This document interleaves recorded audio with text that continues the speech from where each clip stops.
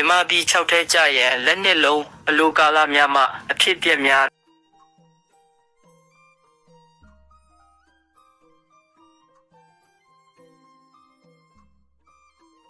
1958 59ခုဝင်ကြီးချုပ်အုံနုအစိုးရလက်ထက်တွင်ဖြစ်ပါတဲ့ဝင်ကြီးချုပ်ဦးနုမှအိန္ဒိယနိုင်ငံသို့သွားတဲ့အခါဗိုလ်ချုပ်နေဝင်းမှလေစိတ်တို့လိုက်လံပို့ဆောင်နှုတ်ဆက်ခဲ့ပါတယ်မကြခင်ဦးနုမှဗိုလ်ချုပ်နေဝင်းတို့ တိုင်းပြည်အာဏာလွှဲပြောင်းပေးခဲ့ကအိမ်ဆောင်ဆိုရအမည်ဖြစ်လာပါတယ်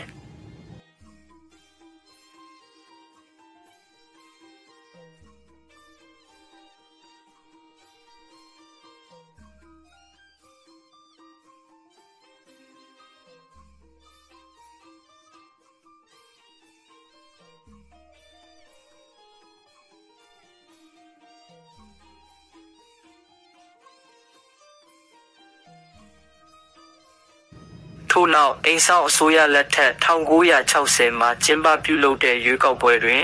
ဦးနုဦးဆောင်တဲ့တရှင်ဖဆပလာမှရွေးကောက်ပွဲတွင်အနိုင်ရခဲ့ပြီးပထဆလို့ခေါ်တဲ့ပြည်အောင်စုအစိုးရဖြစ်လာပါတယ်။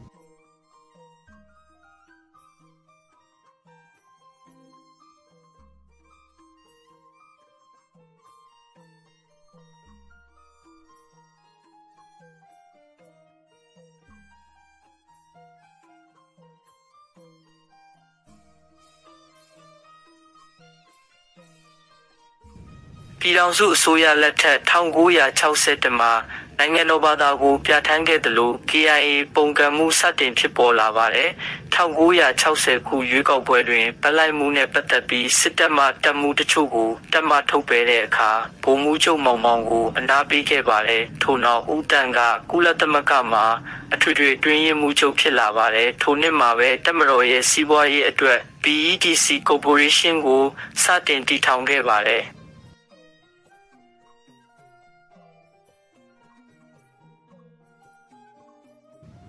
နောက်ဆုံး1960နှစ်မှာဖက်ဒရယ်အရေးဆွေးနွေးပွဲအတွင်းစစ်တပ်မှအာဏာသိမ်းခဲ့ပြီးတော်လှန်ရေးကောင်စီဖြစ်လာပါတယ်။ထို့နောက်မြန်မာဆိုရှယ်လစ်လမ်းစဉ်ကိုကြီးညာကတိုင်းပြည်ကို6ထဲစတင်ပို့ဆောင်ပါတော့တယ်။